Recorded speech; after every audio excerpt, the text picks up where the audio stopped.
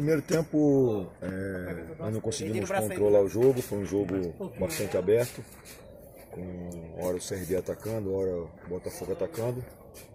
É, e terminou com uma com a melhor oportunidade do CRB, uma bola que o Alisson Faria chutou para fora no último minuto do, do primeiro tempo. Segundo tempo, acredito que, que nós voltamos melhor, criamos as melhores oportunidades e um chute de, do, do Willi foi muito feliz, um chute muito bonito fora da área.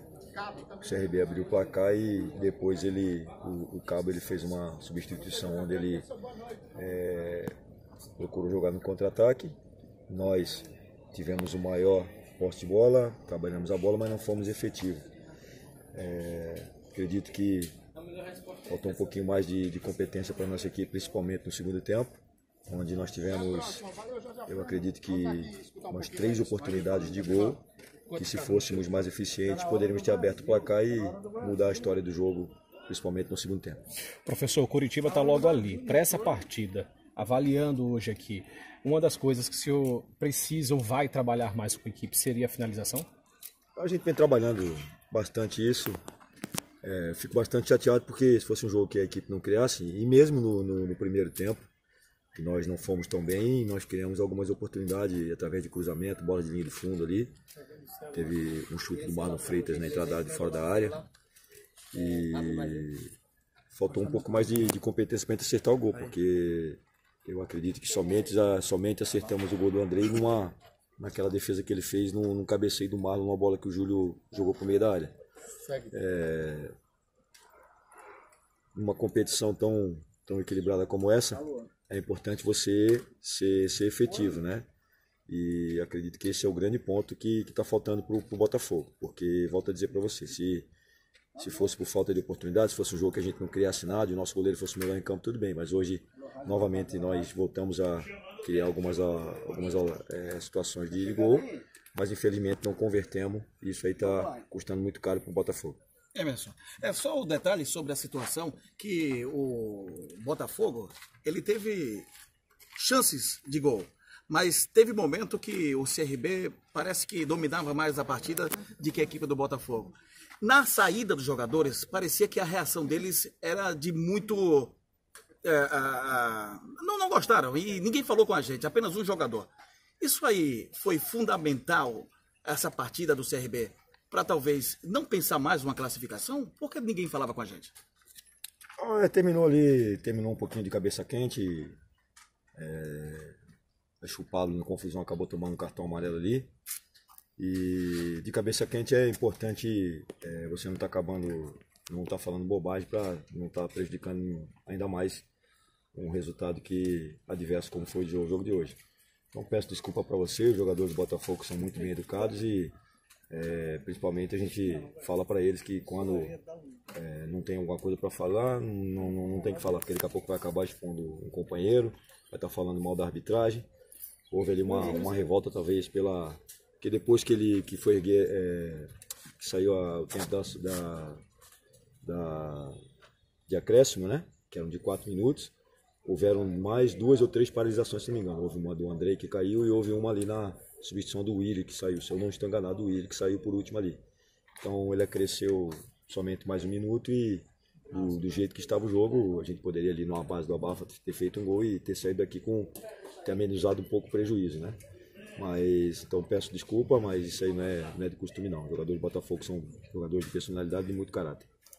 Marcelo Carlos. Ô, ô, Emerson, é, com relação à partida em si, quando você tirou o Pará ali, colocar o Vinícius, sentiu o Pará um pouco cansado, já pelo fato também dele estar amarelado no próximo jogo, já para testar também o Vinícius, ou tinha uma finalidade mais ofensiva com o Vinícius? Tinha, tinha uma finalidade. O Pará, o Pará é um jogador que tem sido muito regular no, desde quando eu assumi, um dos jogadores mais regulares. Mas hoje nós tínhamos um espaço aqui pelo lado é, esquerdo nosso para atacar e o Pará ele não estava sendo feliz na finalização das jogadas, segundo os cruzamentos. Né? O Pará, eu acredito, não acertou nenhum cruzamento hoje. É, defensivamente ele fez uma partida do mesmo nível que ele está acostumado a fazer. Teve a questão do cartão amarelo. É, ele deu uma refugada aqui num, num contra-ataque, ele tentou segurar o jogador do, do, do CRB, ainda, ainda bem que ele não fez a falta, se ele tivesse feito aquela falta ali ele teria sido expulso. E a partir daquele momento eu resolvi mudar todo o nosso lado esquerdo de ataque. Né? O Saraiva, a princípio, ele tinha entrado do lado direito, o Murilo do lado esquerdo. Eu coloquei o Saraiva aqui junto com, junto com o Vinícius. Tanto é que o Marcelo Cabo ele respondeu, ele colocou o Israel aqui na lateral direita para fortalecer o lado direito dele e colocou o Daniel Borges na frente, né? ele fortaleceu também. Então é, teve, tivemos um, algum volume de jogo aqui pelo lado esquerdo, mas também não chegamos a finalizar a jogada, principalmente.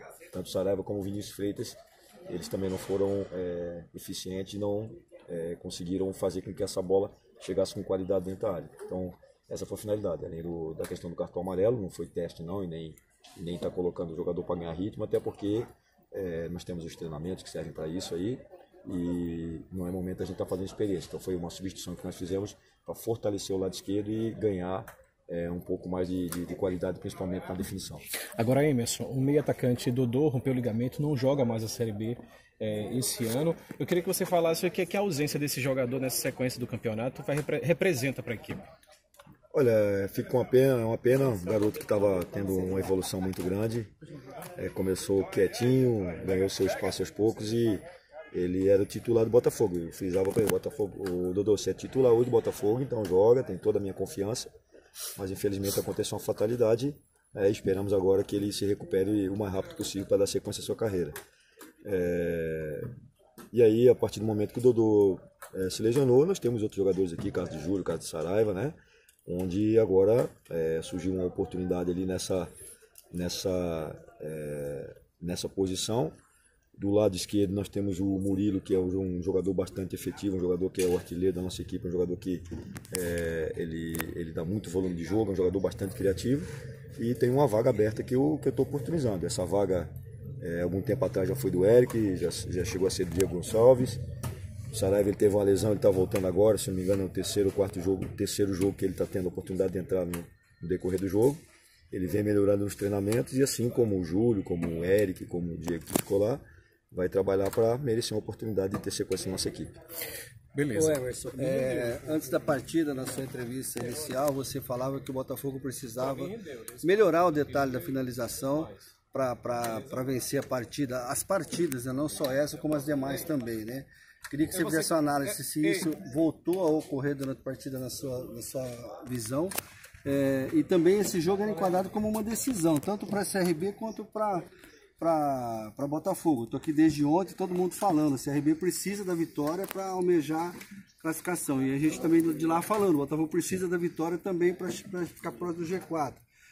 Essa análise do seu setor de ataque e essa análise em relação à vitória e as pretensões do Botafogo daqui para frente. É, o jogo está bem vivo na minha memória ainda, então a gente vai buscar é, essa chance mais clara que nós tivemos do, da bola que o Júlio rolou, que o Marlon cabeçou e o André fez uma grande defesa. Nós tivemos um, um chute do, do Natson na entrada da área que ele estou para fora, que era uma oportunidade também, se era certo, talvez faria gol. É, tivemos uma bola que eu acho que o Murilo entrou e não sei se foi pênalti ou não, lá de, de onde a gente estava, estava muito longe mas ele, ele entrou cara a cara com o goleiro e não conseguiu finalizar. Tivemos várias oportunidades, principalmente do lado direito, que nós cruzamos e a bola atravessava a área e nós não tínhamos um pé ali para meter a bola para dentro. Então, acredito que faltou, é, nós não corrigimos isso ainda não. É, eu fico muito, muito triste, assim, muito preocupado quando a gente vai com o jogo e, e não cria nada. Nós estamos criando, é, a equipe está tocando bem a bola, está jogando com personalidade, está marcando forte o adversário. A gente pressionou a saída do, do, do, de bola do CRB hoje. O Andrei não saía jogando, o Andrei saía batendo tiro de meta direto. Né? Então, é, o plano de jogo ele, ele funcionou em partes, não funcionou totalmente porque é, nós perdemos o jogo hoje aqui. Era um resultado bastante importante para nós. É, fazer os três pontos aqui ou de repente pontuar, porque com a vitória do CRB acaba passando na nossa frente, era um confronto direto, né, importantíssimo. Mas temos sete jogos ainda, quatro jogos por fazer em Ribeirão Preto, três jogos fora de casa. E agora é, é ter poder de resiliência, amargar essa derrota até chegar em Ribeirão Preto e a partir do momento que voltarmos a trabalhar, a gente é, foca no Coritiba para que a gente possa conseguir uma vitória e não se distanciar tanto do G4. Eu acredito ainda que é, numa arrancada da nossa equipe, numa sequência de vitórias. Precisamos de sequência, a gente não está tendo uma sequência de bom resultado como tivemos no início do turno. Essa sequência que nós tivemos no início do turno nos levou no G4 e agora a gente está oscilando principalmente em termos de resultado. Né? É, a equipe vem fazendo bons jogos. Hoje no primeiro tempo, como eu falei, foi um primeiro tempo um pouquinho truncado, é, onde o, o CRB teve a melhor oportunidade, mas não deixamos de jogar. E em relação a, a, a encarar os jogos como uma decisão e acreditar que a gente pode chegar ao nosso objetivo, acredito sim.